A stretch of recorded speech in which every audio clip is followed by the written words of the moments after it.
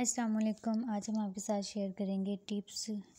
Normal delivery के लिए। ऐसी कौन सी टिप्स हैं जिनसे आपकी डिलीवरी जो है वो नॉर्मल हो जाएगी नॉर्मल मुमकिन है? सबसे पहले आपको चाहिए कि अगर अपनी प्रेगनेंसी प्लान कर रहे हैं तो आपको अपनी रूटीन जो है वो हेल्दी रखनी चाहिए, ताकि प्रेगनेंसी में इंटर होने से पहले आपको अगर कोई बीमारी है, जैसे कि डायबिटीज़ है हाइपरटेंशन है तो वो कवर हो जाए ताकि आपकी प्रेगनेंसी जो है स्मूथ चले। इसके अलावा दैन अगर आप को प्रेगनेंसी हो गई हो गई है तो इसमें आपको अपनी रूटीन ऐसी रखनी है कि ख़ुद को वेल हाइड्रेटेड रखना है लिक्विड इनटेक फ्लूइड इनटेक जो है वो आपने ज़्यादा से ज़्यादा रखना है बैलेंस डाइट रखनी है डाइट में आपके पास मिनरल्स प्रोटीन्स ये सारा कुछ हों, दूध लेना है आपने डेली फ्रूट वेजिटेबल्स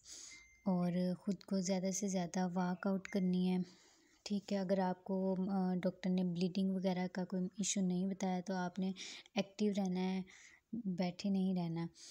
और इसके अलावा थर्ड ट्राइमेस्टर में कुछ एक्सरसाइजेज होती हैं, जिनकी वजह से नॉर्मल डिलीवरी जो है वो पॉसिबल है। इनमें ब्रीथिंग प्रैक्टिस है, योगा है, डक वाल है, बटरफ्लाई पोज है, वो आप ट्राई